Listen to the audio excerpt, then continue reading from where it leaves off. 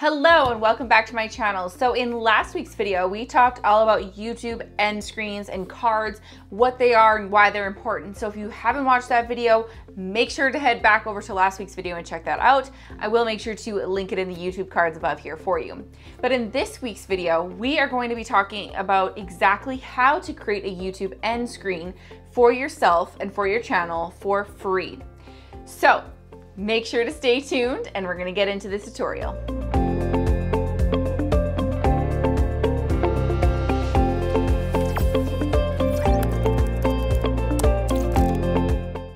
Okay, so before we get started, if you wanna learn how to create a YouTube lead generation system for your business, make sure to save your seat for my free masterclass by clicking the link below this video. Okay, so how do we create a YouTube end screen for free?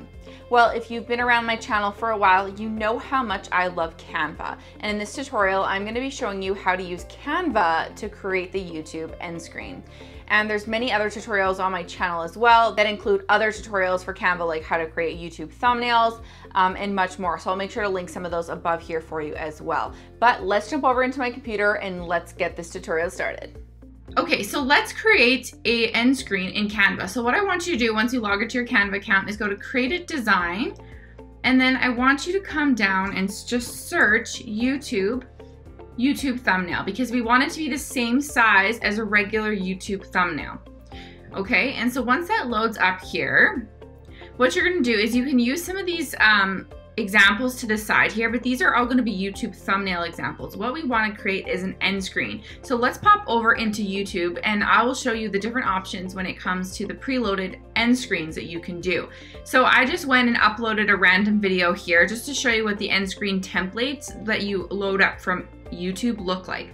So you can either have the playlist and subscribe button, two videos, a video, a playlist and subscribe, one video and a playlist. There's all these different options here for you, an import from latest video here. So this is basically showing you where the different elements are gonna go. So this square box is going to be another video that you can put on the screen to then direct traffic to. And this circle here is going to be on a subscribe button. It's gonna show the profile picture of your YouTube logo basically. That's on your profile.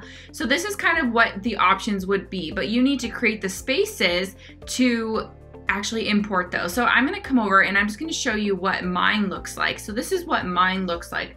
I have a couple different options here, and I also have some templates like this available in Video Marketing Accelerator, which is my group program. It's actually a fast action bonus for people who sign up for the for the program. They get access to all of these different templates for the YouTube end screen and for thumbnails and so on. So this is what mine looks like. And as you can see, this is where I have this watch next. And then once I import this into YouTube, this little blank space is where the actual video card is gonna go. And then here is where the picture from my YouTube logo is gonna go so that it actions people to subscribe to my channel. If you scroll down, here's another option of a template that I've created as well. So again, same thing, it's just oriented a little bit differently on the page. So how do we create something like this for your brand? Well, let's do that together. So let's come back over into my blank design here. I'm just going to pick um, a blank color here as an example. And then let's create the text boxes. So we're gonna come over into elements and we're gonna pick a, the square here, make it a rectangle, Let's make it white so that we have a nice background to know that this is where we want the, the YouTube video placement to go. And really, you can place this wherever you want. Sometimes people will have it so that the video will still show up, the actual main video will still show up on the left-hand side here, and then they'll have other examples kind of, um, let's copy and paste this, kind of just like this. So they have two other example videos and they might point over to it. So this could be a really good option for you as well if this is kind of what you wanted to do. These a little smaller. Make this white. So now there, we could have two videos placed as well as a subscribe button and you could have your actual YouTube video playing on the left-hand side here, right? So you could have, say this is like your actual YouTube video here, right? And then these could be where you put the placeholders for the pieces that you're gonna import. You can also put different text on here if you like. So maybe you wanna have a heading that says, check out these other videos. And let's change this font maybe to something a little bit more bold. Um, we can actually change, make them all capitals as well here. And the other fun thing about, you know, Canva is you can really play around with all of the different features here. You could do effects and you can add fun effects to here if you wanted to. Um, so you could put this over here like this, like whatever you wanted to do um, is completely possible with this, right? You can do so many different things. You could add your logo onto here. So if I come down and I go into logos and I wanna maybe add my symbol here, I could do that and I could add that down here if I wanted to, right? There are so many different options. The, the goal here is just to play around with where you want these elements to be according to what you want the end screen to look like. So if we come back over into YouTube, and I'm gonna just go over into YouTube here, and let's check, check out what my end screen looks like, right, when it's playing. So I'm gonna come over into my videos here. And let's play one of my videos. Okay, let's go to the very end of this video so you can see, perfect, what the end screen looks like. So like, as you can see here, when the end screen comes up on the end of the video, I'm able to place these elements using the uploader, so using this onto the videos. So I have my subscribe button and then I have the next video that I think that the people should watch. So if we wanna build exactly this thing, what we can do is just come over here. Let's just duplicate this page here.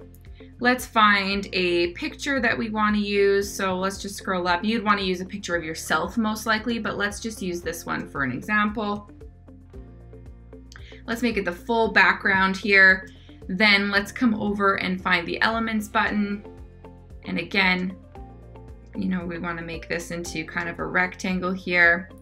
And you may have to play with the, the spacing and things on here as well, but this is just to give you an idea of kind of how it works. So if you wanted this to be down here like that, maybe you wanna have a little watch next button like I do. So you wanna come over here, maybe put this one up there like this. And then you wanna use the circle here. So you're gonna bring those down, bring that over like so. You wanna make that white again. And then maybe we want to copy this. So we need to go copy and then we're going to right click again on our mouse and hit paste to bring that guy down like this. There we go. Now all we need to do is we need to add the, the words, right? So we're going to come over into the text. We're going to add a subheading here. We're going to say subscribe. Maybe make it a little bit bigger.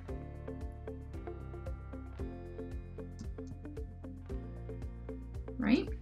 Position that where you want it to go. We're gonna copy this again and bring it back up here. And then maybe right here, we're gonna say watch next.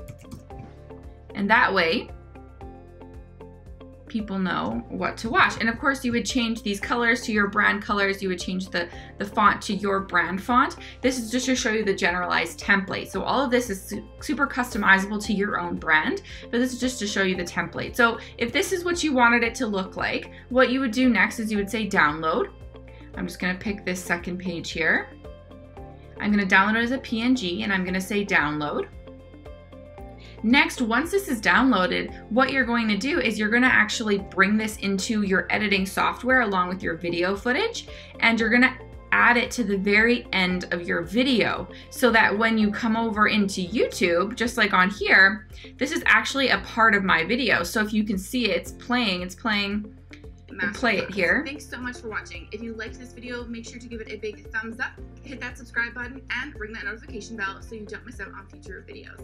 We'll catch you next week. So you can see they pop up beforehand and then the end screen is actually a part of the video. So we actually place it at the very end in editing so that when it comes time to upload into YouTube, we're in the upload screen here, I would just hit, right? I would just hit this button right here and it would automatically apply it so that when you're coming over here, this is a client's video, but when you come over here, you know, it's gonna bring it up and it's going to position it. Now, she uses the same template as me, very similar, so we would just have it like that, have it match the thing. And there's a good example of the same template, but created to her brand and the brand colors that she uses, right? So then you would just hit save And that's it. That's how you create the YouTube thumbnail and then upload it into YouTube.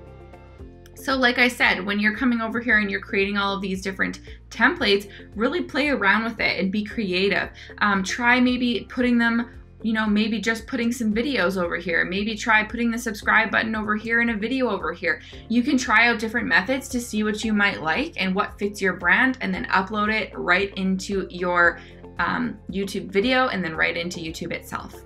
Okay, so now that you know how to create a YouTube end screen for your channel, let me know in the comments below what your biggest YouTube goal is. Because on this channel, my mission and what I wanna do is help you grow on YouTube. And I wanna help you create a lead generation system for yourself using YouTube. So no matter what your goal is, make sure to comment below and I would love to help you out with that and create some more videos on this channel to help you. Thank you so much for watching. If you liked this video, make sure to give it a big thumbs up, hit that subscribe button, and ring that notification bell so you don't miss out on future videos on this channel. Thanks so much, and we'll catch you next week. Bye.